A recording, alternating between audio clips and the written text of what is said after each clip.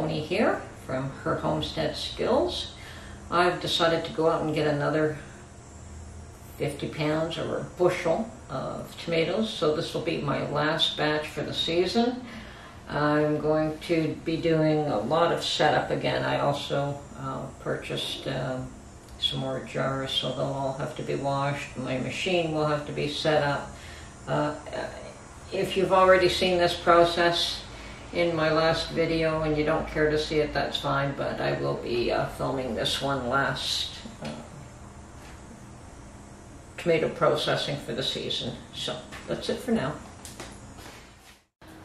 And yes, so much for, yeah, this is my canning hoarder personality coming out again. Um, one thing that I do do is try to, when I buy them in quantities like this, is that I try to put the, the new rings aside and, and use the old ones until they're worn out. Obviously, the lids, as long as I don't have an emergency situation, I use new every time. But yeah, if I was a pinch and there was none available, I would uh, reuse I used one even though they tell you you're not supposed to. It's been done and not just by me, by many people. And you just pick out the ones that are in really good shape. But I have more than enough lids available right now. All these jars came with new lids, so they just need to be washed. The rings I will put away and storage and continue to use my older rings until I end up tossing them out when they get too um, not nice, you know, worn, whatever. So yes, I don't know why they packed it like this. It is such a pain to undo, but I guess it keeps the insides of the jars fairly clean. You still have to wash them. But I guess, it, as I said, it does keep the insides fairly clean. There's no visible uh, filth in them, so.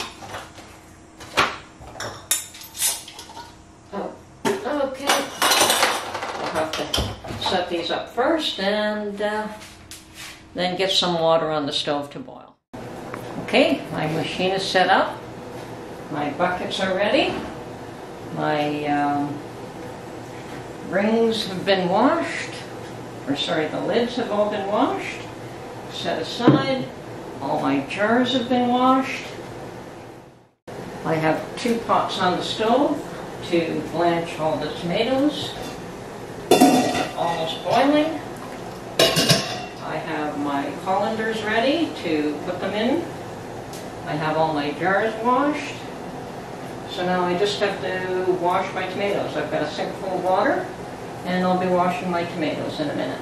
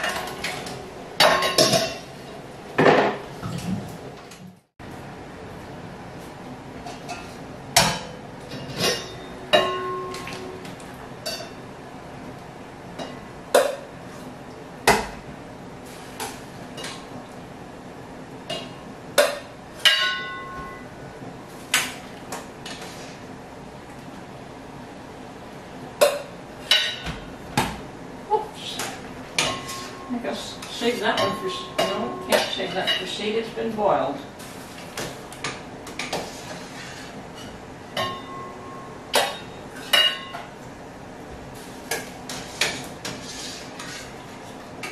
Yeah, this 50 pounds should go fairly quickly.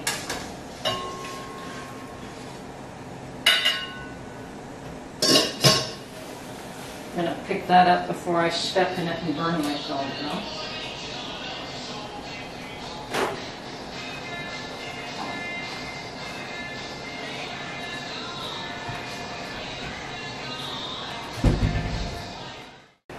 Okay, so all the tomatoes are washed and some of them have already been blanched. Yep, the second bunch is already just about ready to come out. So we're gonna do that and then we'll start up the machine very soon. And we'll show you that process again. So this bunch is ready to come out.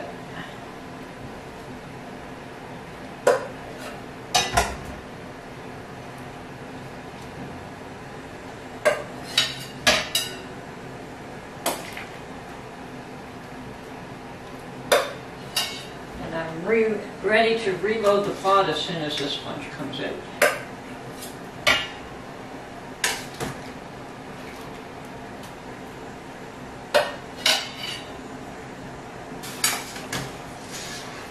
And I think I want to put a couple of these tomatoes aside as well and take seed from them. I really like these tomatoes.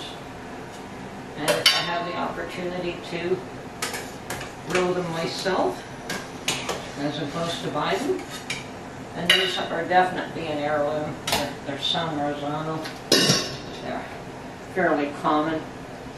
And I have bought seeds of this brand before. They just seemed a little bigger, where these seems a little tighter and a little plumper and a little meatier. So, yeah, I really like these tomatoes.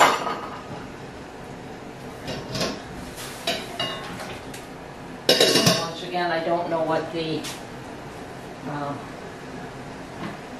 specific, I know there's San Marzano, I don't know if there is a, uh, another cultivar for them or another name for them. They are an heirloom type tomato.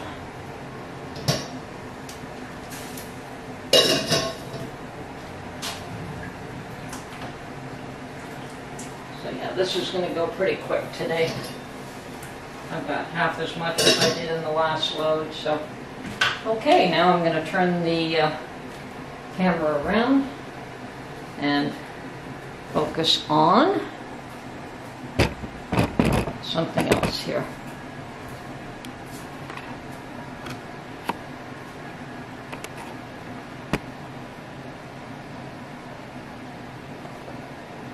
There we are.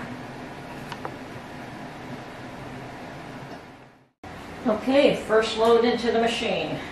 And yes, it is a bit of a messy process. That's why I try to clear everything out of the way first. And this will splash up at me. I should really have an apron.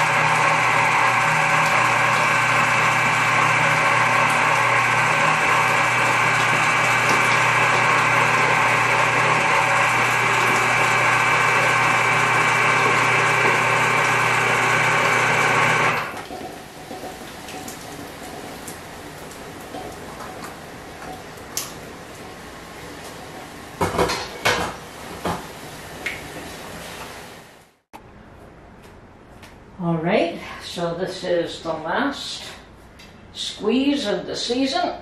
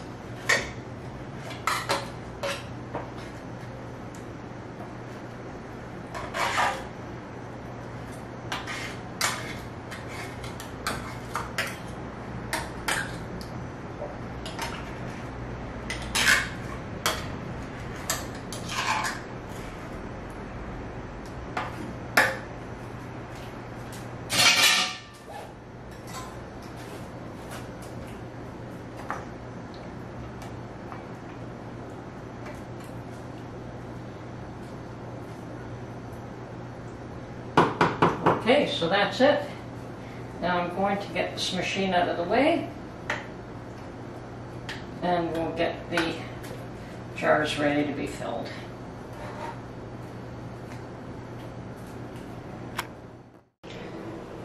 Okay, now for the fun part.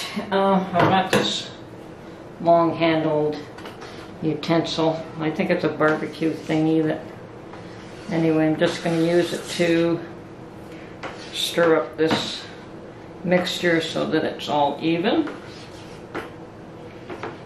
Not too watery on, for one jar and not too thick for another. So,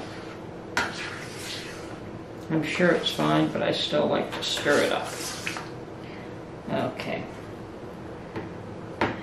And we did manage to get um, a whole five gallon bucket full of sauce.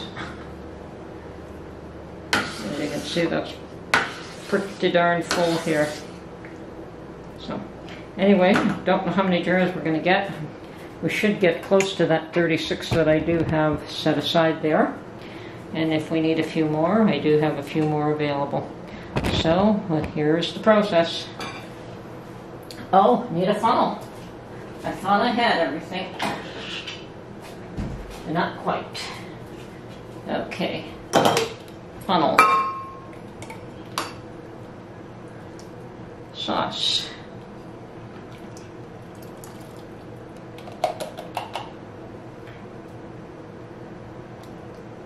Leave half an inch headspace. Tomato sauce, and especially done this way, does seem to have a fair bit of air in it.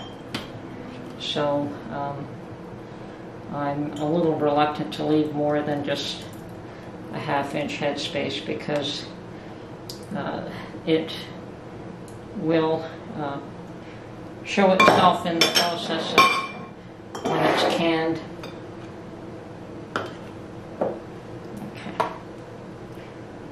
Anyway, so this is all I'm doing now is filling up the jars. And then we will wipe off the rims with some, now that one might be a bit too full.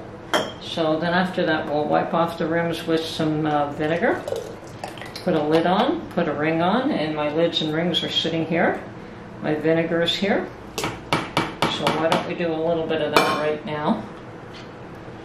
Okay, I've got a spoon here to remove a little bit of sauce from the one that I fill too much. Got my paper towel. And vinegar. Wipe the rim. This is that new hoard of jars that I bought. Every one of them has been washed. Lids are sitting in water.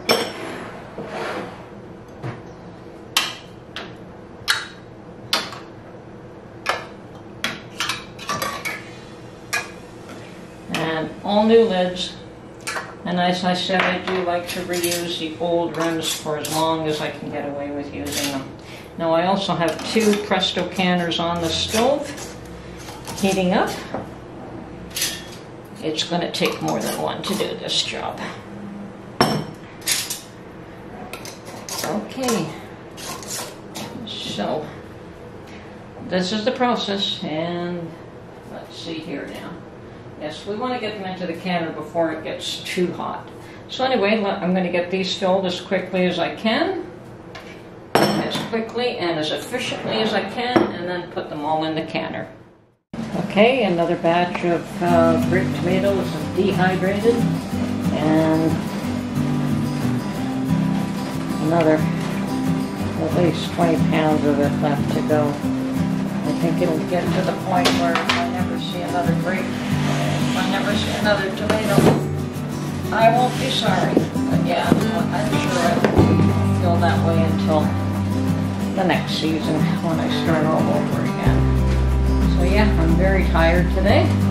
I have canned 36 jars of San Marzano tomatoes for tomato sauce, for tomato pasta, sauce, for chili, for pizza sauce.